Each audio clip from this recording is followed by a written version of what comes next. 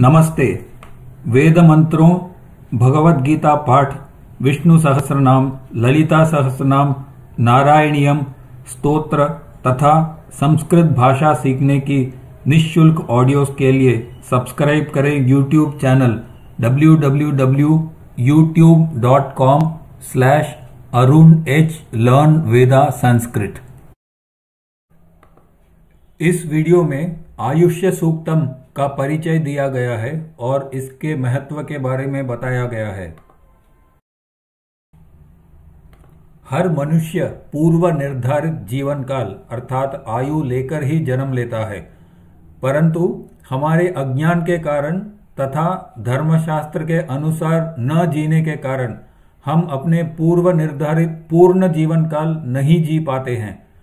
एक जीव केवल मनुष्य जन्म में ही मोक्ष अर्थात पुनः पुनः जन्म और मरण के चक्र से मुक्ति के लिए प्रयास कर सकता है। अन्य प्राणियों तो क्या? देवों के भी केवल भोग शरीर होते हैं, कर्म शरीर नहीं। मनुष्य आयुष्य सूक्तम जैसे प्रार्थना तथा धर्मशास्त्र के अनुसार स्वस्थ जीवन के द्वारा लंबी आयु प्राप्त कर सकता है। ये मनुष्य जीवन एक नौका है संसार के सागर को पार करके मोक्ष को पाने के लिए। मोक्ष केवल मनुष्य के लिए संभव है, देवों के लिए भी नहीं।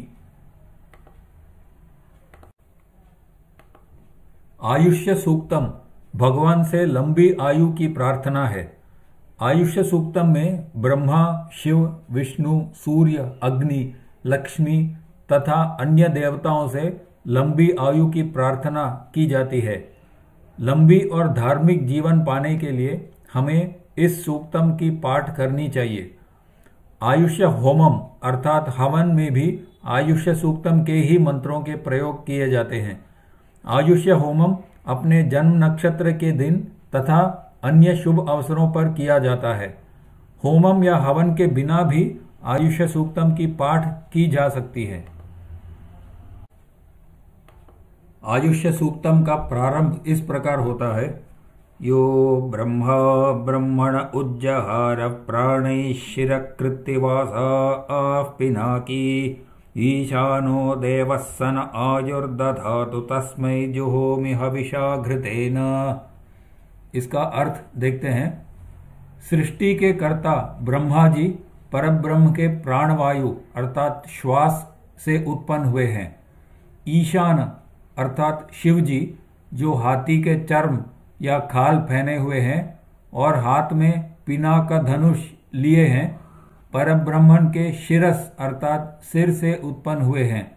मैं घृतम या घी की आहुति देकर ब्रह्मा जी और शिव जी से लंबी आयु की प्रार्थना करता हूँ। विभ्राजमान शरीरस्य मध्यात् रोचमानो घर्मरुचिर्य आगात्।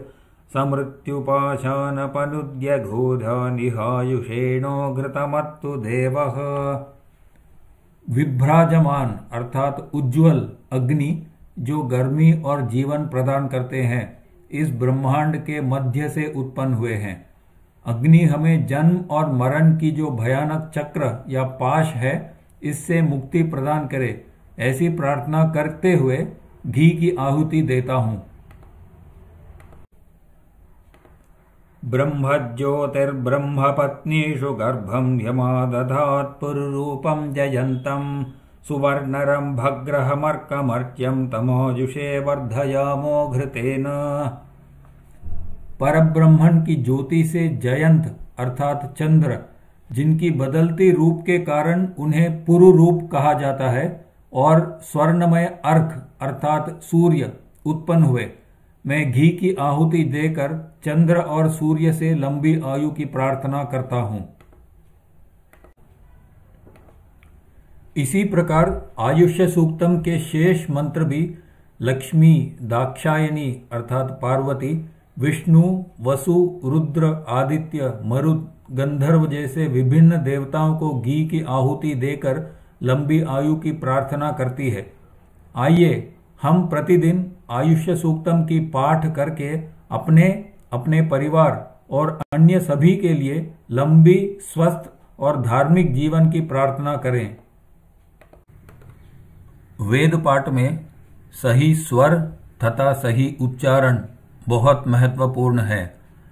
वेद पाठ यदि सही स्वर और उच्चारण के साथ हों तो इनसे बहुत शक्तिशाली, गुणकारी स्पंदन पॉजिटिव वाइब्रेशंस जिन्हें कहते हैं, सारे अंतरिक्ष में फैल जाती हैं।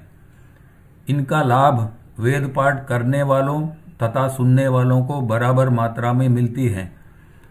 इस मंत्र के पाठ को सही स्वर और उच्चारण के साथ यदि आप सीखना चाहते हैं तो प्रतिदिन बार बार हमारी निशुल्क लर्निंग मोड ऑडियोज जो हैं, इनको बार बार सुन के इनके साथ अभ्यास करें। इस मंत्र के लिंक इस वीडियो के डिस्क्रिप्शन फ़ील्ड में दिया गया है। Hariom do not miss the adventures of Kudmi Tata and other stories a humorous novel for all ages. Readers love it. Paperback and ebook available at special low price on Amazon worldwide.